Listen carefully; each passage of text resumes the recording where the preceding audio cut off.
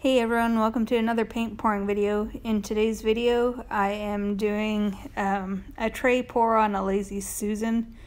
Um, the tray is not on a pendulum today, uh, mainly because um, I tried to do this painting yesterday on a pendulum and I did a really terrible job and I ended up having to scrape it all off.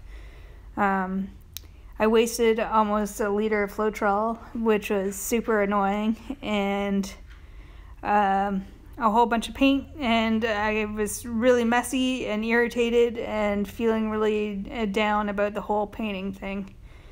Um, so I didn't want to leave anything to chance today. I really wanted to have a successful painting. So I just uh, poured it by hand. And it turned out great actually. Um, I mean, it's quite obviously not as free as... Uh, the paintings that I've done with the uh, tray on strings. Um, but I think that the overall effect uh, was well worth um, giving up that little bit of freedom. Um, I'm quite happy with this painting. So I've discovered that um, having the canvas on a Lazy Susan is actually pretty awesome for spreading out paint. Um, it takes a way less effort as I can spin it around and stuff. Um, funny story though, actually, I was uh, practicing my spinning yesterday uh, before I had dumped the paint onto the canvas and I uh, knocked my full cup of paint all over the floor. Um, so that was a pretty valuable lesson learned. Yesterday was just such a disaster painting wise anyways, so I'm like so happy that I got a good painting today because uh, it's remarkable how down in the dumps you feel when uh, the painting just isn't going the way you want it to.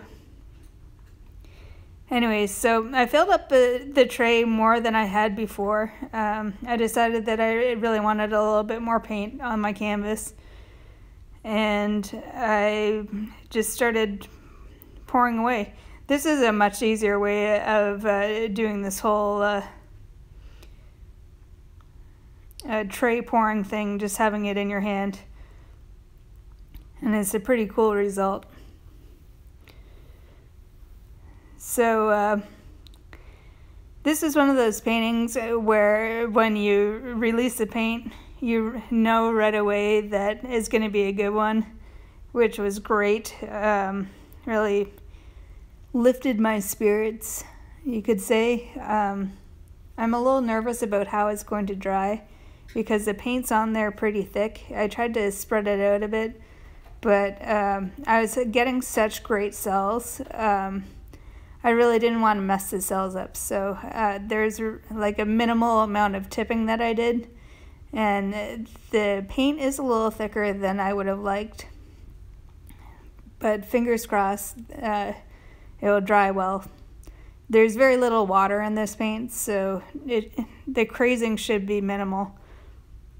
But we'll have to see. I'll keep you updated. I'll, I'll blog about it on my website.